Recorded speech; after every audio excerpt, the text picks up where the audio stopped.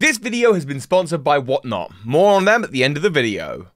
What if you were a Pokemon gym leader? What if you lived in the world of Pokemon and were recognized for your battling skills and you've been promoted this time to become a water type Pokemon gym leader? Perhaps you're taking over a pre existing gym that was water type or a different gym of a different type, or maybe you're building one of your own in the many cities and towns of Pokemon. You're following in the footsteps of some of the greatest though. You've got Misty, Wallace, Juan, you've got Crasher Wake, Marlon, you've got Nessa. These gym leaders show the perfect mixture of beauty and power when it comes to the ferocious water type Pokemon. And water type Pokemon are the most common on the planet, so you've got plenty to choose from when it comes to constructing a gym with your own theme and identity, your own gym badge, your team, the trainers that would be there, and what you want to do. And the theme of my overall gym is going to be the monsters of the deep. I'm going to take us to the Kanto region, but I am not going to be taking over the Cerulean gym. No, no, we'll leave Misty be, although at this point she's probably been promoted and moved on, because we are in a future Kanto, and the future Kanto from the regular Kanto has changed. We saw it in Gold and Silver version. Janine has taken over the Fuchsia City Gym from Koga, Blue has taken over the Viridian City Gym from Giovanni, and as for the Cinnabar Island Gym, well, there isn't really so much of a gym standing anymore, so much as Blaine just kind of runs his challenge from a cave. Instead, the actual island itself, which is going to need to be rebuilt in this kind of future Kanto, I'm imagining, was previously destroyed by an erupting volcano. I wonder what happened. I wonder if there's any kind of ruins or relics under the sea of the Cinnabar Island of ages past. Now, a future Cinnabar Island that I'm imagining is a little bit of a tourist spot. Like, it's kind of like a, oh, did you hear a powerful Pokemon was created in the mansion here? Or perhaps people used to restore Pokemon fossils here. There used to be a gym. Now it's a little bit more of a kind of tourist town with no official Pokemon gym, so to speak, anymore. But there is a gym being reconstructed nearby, and you'll find out soon enough. There is a kind of mysterious tourist guide who, who will take you upon his ship and show you around. He's like, hey, let me show you the north of the Orange Islands and the Seafoam Islands. Let's, you know, you can go on a full tour, but be warned, because there's many powerful creatures that lurk in the dip. They lurk in the dip. They lurk in the deep around Cinnabar Islands, and something's just like not quite right about this kind of boat guy. I just like imagine like a really kooky, like Mr. Briny type. And you get on this boat, and yeah, you go out and you see the sights, you have a lovely day, and then at the very end, and they, they argue, by the way, in order to even get on this boat, you have to be able to beat them in a Pokemon battle, so it's for high-level Pokemon trainers already. They're going to be throwing at you some of like the Kanto go-to water Pokemon, whether that's like Tentacruel, Golduck, Starmie, Sea King, you know, all of the usual classics And while out at sea, something wild happens. The rain starts chucking it down as if Kyogre's out there somewhere in the world causing havoc, and there's clouds, storm clouds in the sky circling round the sound of thunder. But you realize that those storm clouds aren't ordinary storm clouds. These waves aren't normal waves rocking the boat. You look over the deck, and there in the distance you see the eyes of a giant Pokemon. It is in fact a Gigantamax Blastoise, and this is the opening trial to my gym. You must be able to defeat this one Gigantamax Blastoise, but not in a conventional battle, instead in a more Legend of Zelda style, kind of like the, the Vah Ruta battle, um, where you're like circling around it, and it's going to be using its G-Max Cannonade to fire at you. You are going to need to take a Pokemon that can at least know Surf and Dive to be able to like take on this Pokemon, dodge its attacks, and this will all be explained to you before you even get on the boat. Like you need a Pokemon with Surf or Dive in case you go overboard. So you have a Pokemon like that on your team, and you're able to kind of skirt around it and rally attacks back at it. Now, it's a Gigantamax Pokemon, so you don't actually need to defeat it, and I think it would be impossible to do so but you do need to be able to survive it for at least kind of as long as it takes for the Gigantamax to dissipate. And when it does, after you've circled round it and round it like it's a Great Octo from Zelda again, um, the compression of this this giant Pokemon sinking down causes a whirlpool that sends you diving under the sea. And like I say, don't worry, you've got a Pokemon with dive on your team. And you got like one of those little like Qui-Gon like mouthpieces from the Phantom Menace. They're in Pokemon. I don't know why I'm referencing the Phantom Menace. So, now you are exploring the great underwater routes that connect to the kind of Cinnabar Island area and the Seafoam Islands area. And of course, there are even wild Pokemon that exist down here that you can battle, as well as various other divers who say that they are part of the new gym challenge that's setting up on Cinnabar Island. This is the secret 8th gym leader of the Kanto region. The Pokemon seem more ferocious underwater, though, than they do above water. You've now got some of the big crustaceans like Kingler, and you've got Cloyster and Blastoise. You've got Kabutops as well, which is kind of a little throwback to the time before when Cinnabar Island was restoring fossil Pokemon. So lots of more Kanto classic powerful Pokemon, but also some Pokemon that you wouldn't normally see being used by these trainers, like Dondozo, or perhaps like Whiscash. Also, one of the limitations of this Pokemon gym is that you're only able to use Pokemon that you could typically send out underwater. It's just one of the things that makes this gym a little bit more challenging.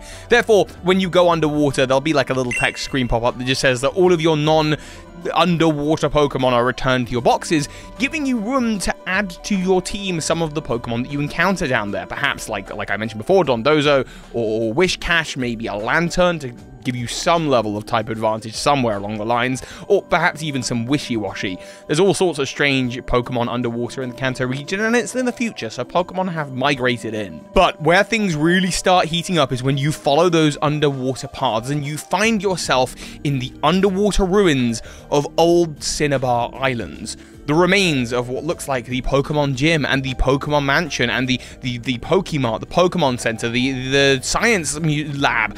All of those elements, those buildings, have been effectively broken off of the mainland of Cinnabar Island when the volcano erupted. This is why they're not really there in Gold Silver and in HeartGold Soul Silver, because they actually just broke off when the volcano erupted, and now their ruins are deep underground, and you get to navigate this whole underwater ruin area battling your way through powerful Pokemon divers as well as like just underwater monsters. And in the ruins of the old Pokemon Mansion, you can still use the Rhydon statues to use the door trick to change the water levels in that area, though I'm not 100% sure quite how that would work, but I just like the idea of it. It's again like, oh, The Legend of Zelda and the water dungeon, controlling the levels of water. And at the very end, you find a kind of glass containment. Now, this, of course, was glass container that Mewtwo was once in, but it looks like it's been been like re-outfitted and it's been freshened up, kind of like it looks in Let's Go. And what it is when you get inside is actually a decompression chamber. Suddenly, all of the water filters out and you are just inside this glass chamber that has air in it, breathable air once again. And the glass chamber rotates round into a new room, a new cavern that's been constructed as the new secret 8th Pokemon gym. Inside is the gym stadium, and of course, the water keeper, Toby. I stand there with a lure ball in my hand, saying, Ah, I've lured you into my trap. I've caught you on my fishing line. Welcome, trainer, to the eighth and final secret gym of the Kanto region. I say, perhaps you came to Cinnabar Island looking for the gym leader that came before me, but don't worry about Blaine, I've hung him out to dry. Now the water Pokemon rule once again. The water and the sea has reconsumed Cinnabar Island. And rumors of this gym have clearly brought the likes of you here. Other powerful Pokemon trainers have been visiting and we've even been recognized by the Pokemon League. So welcome and prepare to face the monsters of the deep.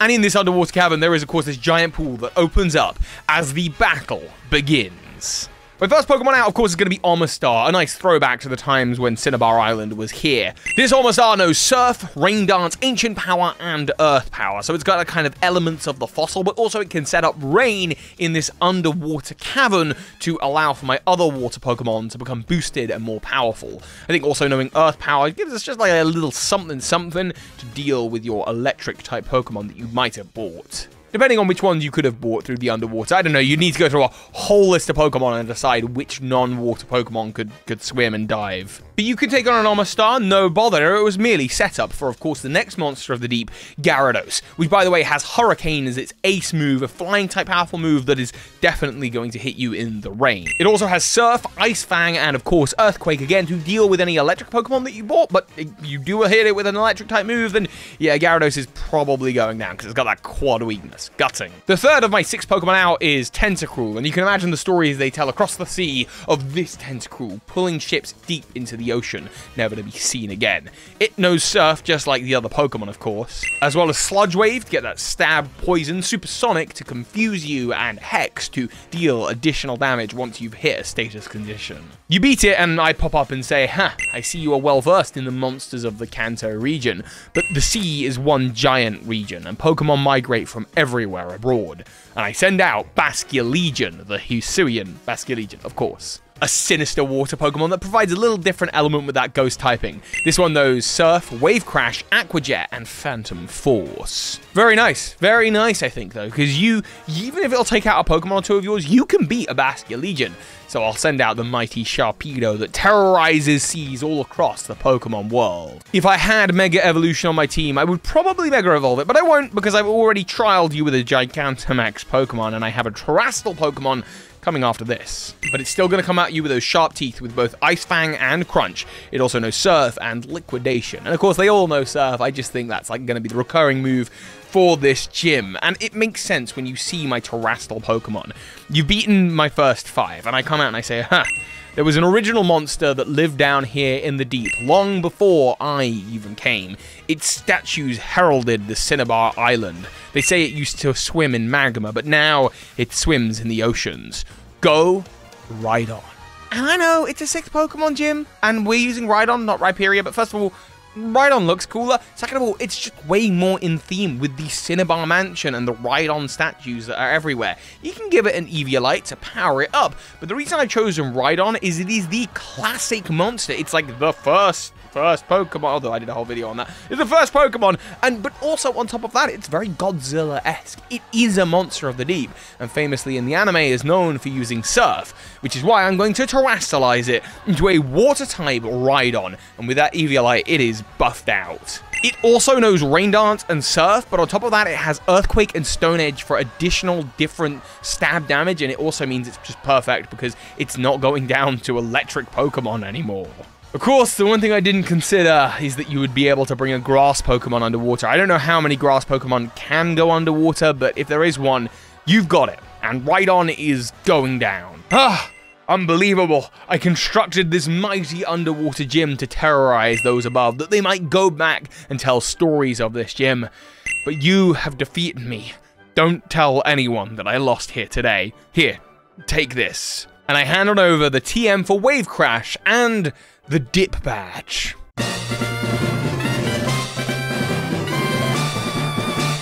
An incredible Pokemon trainer you are. I'm sure you'd be ready to take on some of the other Pokemon gyms that I've made. You know, deep underwater gyms like this and beautiful gym badges that aren't easy to make, so I'm very impressed with what you're doing. Of course, they are made possible thanks to today's sponsor, and a sponsor I think you'll get a lot of value out of when you resurface up to the top, Whatnot. So, Pokemon Masters, I'm going to take a guess that you're kind of like me and you love collecting Pokemon cards, right? Or maybe you've got extra Pokemon cards and you're like, yeah, I could turn that into a little bit of uh, change. Whatnot is the live buying and selling platform for collectibles. I've been there and I've done a whole bunch of shows, whether that's with the new sets like Crown Zenith. I'm going to be doing some coming up for Scarlet and Violet. Uh, there's a lot going on and I have my shows available. I'm ready for you to bookmark right now. But whether you're just looking to get a good deal on some cards, and I start most of mine down at just one pound or maybe you're looking to just make some quick change. I love Whatnot as a way to sell. Listing has never been more easy. It's not like lots of effort to like go on there, list the item, do the the title, the description, to, to put in all of the details. Is it mint? Is it near mint? Will I get in trouble if it's this, this, this? None of that. Instead, you just simply put the title of the card, put in the price that you want to start at, which again, for me, for all my cards are starting at one pound. You go in there and then you just list, and people can see in real time exactly what the card looks like, what they're going to get, or you can share with them the joy of opening a pack that they've just bought. That's actually kind of my favorite thing about it is really it's that community element. I've met some really lovely people just through through buying and selling on whatnot and speaking to some of the same people and developing that circle of collectors who are helping me with my collection goals. That binder I just showed you, none of that is for sale. That's my Legends Arceus binder that I'm making and I've been inspired to make that by, yeah, the community over on Whatnot. You can download Whatnot today using the link at the absolute top of the description or you can scan the QR code on screen. It helps me out. I get kind of an affiliate bonus and you get £10 off of your first order on Whatnot. So if you buy something for less than £10, it's free. So what are you waiting for? Scan the QR code, get some free Pokemon cards today, or of course click that link at the top of the description. Make sure you've headed over to my account, you've got my next show favorited, and thank you so much to Whatnot for sponsoring this video and this Pokemon gym. I'll be back with another Pokemon gym very, very soon. So hi, Pokemon Masters. This is Ash Ketchum. You just watched a video by Birdkeeper Toby. That makes you a Pokemon Master. Just the biggest thank you to those of you who are supporting this channel on Patreon, and a special thank you to the big patrons of the month Jed Rubin, Charmander Ansible, Anthony Lee, The Elgator, and Michael Hornshooth. Thank you so much.